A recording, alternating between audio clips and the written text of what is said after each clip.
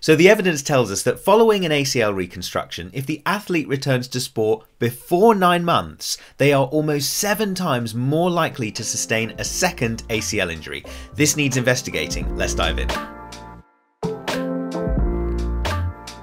Hey everyone, Khalid here. Welcome back to Clinical Physio. So we get asked this all the time. When should my patient return to sport following their ACL reconstruction? Well, today we're going to review this fantastic piece of evidence by Beischer et al. 2020, which gives us some brilliant insights. So the researchers completed an observational study involving 159 patients, both male and female athletes aged between 15 and 30 who had had a primary ACL reconstruction and were involved in knee strenuous sports. So the researchers monitored the progress of these 159 patients over a four year period, marking down when they returned to sport, the number of months after their surgery, and whether or not they sustained a secondary ACL injury.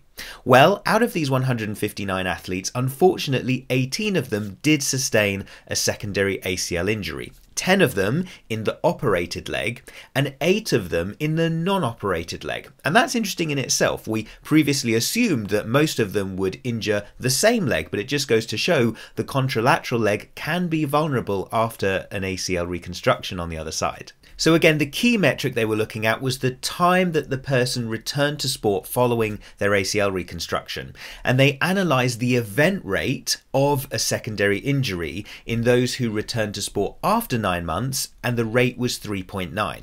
However, if you returned to sport prior to nine months, the event rate was 24.8, almost seven times greater than those who returned to sport after nine months. Staggering data, and they went on to find that of the 33 individuals who did return to sport before nine months, 10 of them, almost a third of them, sustained a secondary ACL injury. So, really interesting data there. A clear indication that if an athlete returns to sport prior to the nine month mark following their ACL reconstruction, there's a clear increase in the risk of them sustaining a secondary ACL injury. So, what if your athlete is now beyond the nine month mark? Can they just return to sport and everything will be okay? Well, that's not quite right either. Here are some key things to think about. So first of all, we want to make sure our patient or athlete completes a series of physical functional tests that demonstrate that they have the ability to cope with the demands of returning to their sporting environment. So that could be things like your single leg hop test, your triple leg crossover hop test, or your star excursion balance test. If you want more details of these, make sure you watch till the end of the video because we've got something for you there. But once again, these tests demonstrate that your athlete is physically ready, but also psychologically ready. And we know that the psychology involved in returning to sport after an ACL injury is also really important to making sure that they don't sustain another injury. So, next, we want to try and facilitate a step by step approach to help our athlete return to their sport beyond just the physical drills. So, that could be, for example, non contact activities that mimic and replicate exactly what your patient needs to do in their sporting environment. So, for example, we could be talking about running and changing directions, could be agility drills, could be jumping and having to control the landing. Ultimately, have a think about what exactly does my athlete need to do in their sport, convert that into a drill, and get them set on their way. So, next, our athlete might go back to sports training, not competitive sport just yet. So, if your athlete competes in an individual sport, like tennis for example, this could be their opportunity to get back on the court and practice hitting some shots with their coach. If they play in a team sport like basketball, they could get back into training with the team, practicing things like shooting, changing direction, or layups. That involves jumping and landing, which is going to be really important.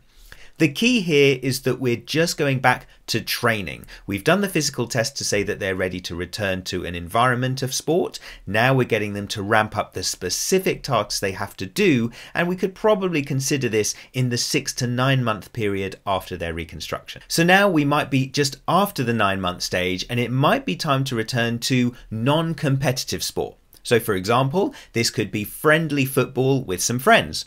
Hopefully, we're in an environment here where the aim is that the patient is playing with people who understand that they've been injured and hopefully won't be going into any heavy tackles with them.